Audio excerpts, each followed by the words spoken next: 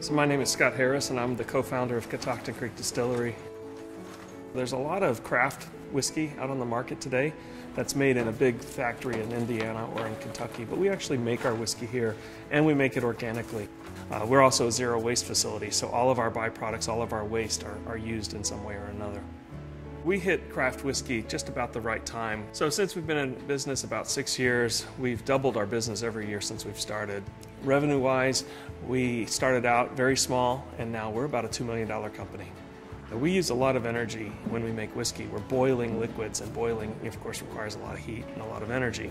And uh, around here, that energy is coal and gas. And so we felt a little hypocritical being a green, sustainable company using so much electricity. So we decided to install solar in 2013. We were able to make solar work because we were in the middle of an expansion. We were able to essentially put it into the expansion loan that we already had for upgrading the building and getting some equipment. And that basically pushed it into our loan payments and freed up a lot of cash. So I have an app on my phone which lets me see the status of the solar system on the roof. So with that, um, we can actually see a real-time picture of the array up on the roof. In our case, the solar helps bring our costs of electric usage down from about $1,000 a month down to $200 a month. That's a big difference in what we're uh, paying then for an electric bill, and I can free that money up for buying other things like grain and bottles and barrels and things like that. It really helps us a lot.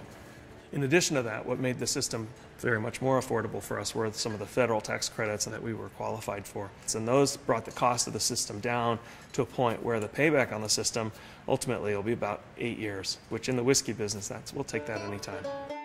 You know, our philosophical feelings about sustainability and the, the green economy and everything aside, when it came right down to it, solar was the right choice for our business from an economic standpoint. After we installed our solar system, we heard of so much interest out there by other businesses. I really feel like if there were more incentives available for individuals or businesses that people would really be excited to be able to realize the kind of savings we are.